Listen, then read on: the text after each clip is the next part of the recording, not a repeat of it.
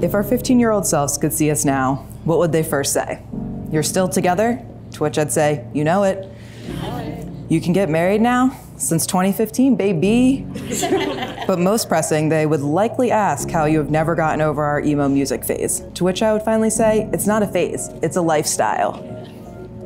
But in all seriousness, I would say look at all the ways we have grown as individuals and as a couple over the last 15 years. There have been many versions of Nicole and Kirsten, and I have loved each and every one of them.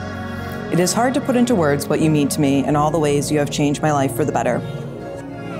From waking up each day cuddling and screaming for Pebble to get in the bed, because Jada's already in the bed, going for daily walks on the trail, creating even bigger dents in the couch cushions as we binge watch endless TV. Our love is in the simple details of every day. We have supported each other in our hardest times, and we have never missed an opportunity to celebrate our wins, big or small. More and more each day, I find that our individual strengths and weaknesses complement each other perfectly to make a stronger whole. We balance each other out and are willing to take on the things that the other hates. From you cooking incredible dinners and me cleaning up behind you, to you clipping Jada's nails while I vacuum Pebble's fur. With so much love, history, and understanding already between us, I promise more of the same. It may not always be easy, and we don't know what the future holds, but today I commit to never stop trying to make you happy, to never stop making your life easier, to never taking you for granted, to never stop loving you, and to always choosing you and our little family no matter what life throws at us. Nicole, I think I'm not alone in expressing the sentiment that so many years later, finally we are here. Um, I have come to this moment having borne witness to the pain, but also the beauty that can come with the commitment to a life to another person. I come to this moment having read the think pieces that critique the institution of marriage and having grappled with our place in it as queer people. And through it all, though, I've always known and felt in the deepest parts of my being that you are my person that this love and partnership we have built is something worth nourishing and cherishing.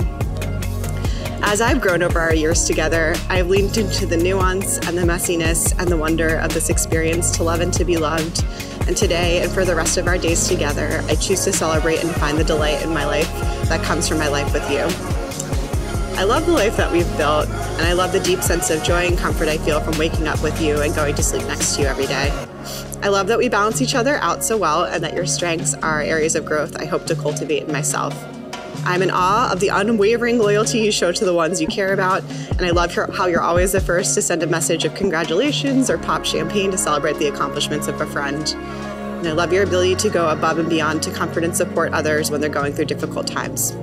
I love your sense of romance and your ability to surprise me, even when you or not, none of your family members either really can't keep a secret for your life.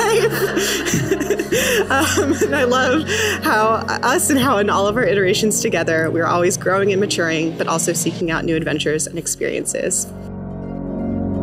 All the wedding bloggers say that you should only share vows you can keep, so here are my realistic promises to you.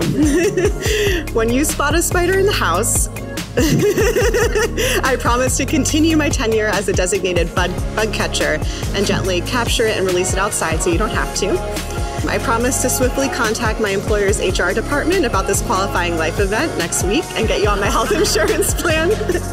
um, I promise to groom the cats to spare you their cries and hisses in the bathtub. I promise to support you unconditionally in all of your pursuits and passions as you grow and stretch as a person. I promise to be your biggest cheerleader, encouraging you to tap into your dreams and potential, even when circumstances feel uncertain or overwhelming. I promise to continue to be your best friend and confident, co cat parent and partner in life. And I promise to love you deeply and with my whole being, no matter what the road ahead holds. On behalf of the Commonwealth of Massachusetts, I now pronounce you married.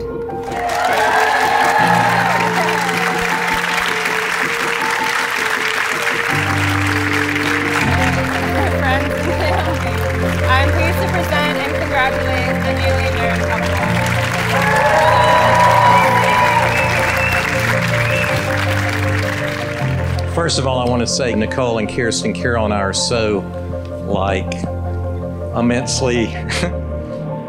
Here we go.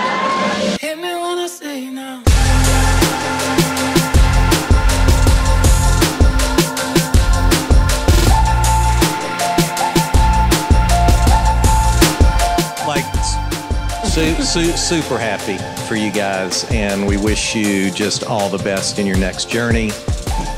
Look around the room. Look at all the family and friends and love and support that you have. Um, only there's only a few of us that get to dream about that kind of thing, and I think you should really internalize um, how how many people have your backs and will be with you in your journey together. Congratulations, Nicole and Kirsten.